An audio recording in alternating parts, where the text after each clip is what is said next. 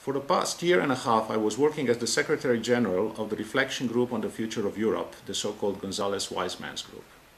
The group published its report to the President of the European Council, Herman Van Rompuy, in May this year, where it listed the challenges that the EU will be facing between now and 2030, as well as some recommendations.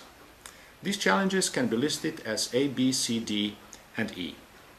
A stands for the automation of industrial production and the, the resulting abundance of goods and information. B stands for BRICS, for the BRICS countries and globalization in general. C stands for climate change and energy security. D stands for demographic decline. And finally, the E are the E technologies. Technology development is fast in all areas, but the internet and other communication technologies are the most influential ones. It is by communicating that we are setting relationships with other people, we are making a family, creating work or business. It is through communication that we are creating a society. Taking together, these transformations represent the end of an era. A means the end of industrial and information age and the dawn of what some call the creative, conceptual, or even emphatic age. B stands for the end of Western dominance. C stands for the end of below ground fossil energy and transition to above ground sustainable energy. D stands for the end of population growth and use dominated societies. And E stands for the shift from the paper to the digital communication media. These, tra these transformations can be traced back as the root of the current economic crisis.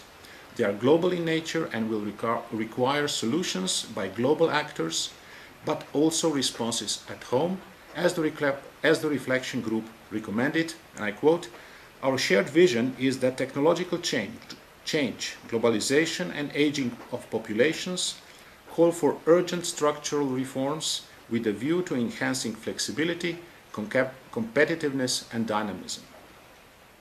All of these transformations, of all of these transformations, one will have the most profound effect of, on our society, the Internet communication revolution. After almost 500 years, this is another Gutenberg moment. It is a communication revolution that is reshuffling the cards, it is leveling the playing field, and in many cases it is resetting the economic race and the race towards well-being.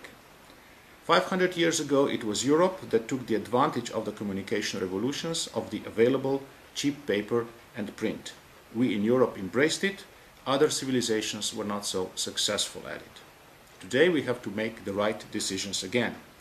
And this is where projects like Paradiso and other internet sciences in general come in. We need a broader, more holistic, more interdisciplinary understanding of the potential of the internet and, relation, and related communication revolution. It is not enough to develop technologies, it is important to understand how they change the society. The ICT revolution will reshape it. As, my, as Martin Heidegger wrote, somewhere wrote, the essence of technology is nothing technical. All of us who are technical researchers and innovators should never forget this.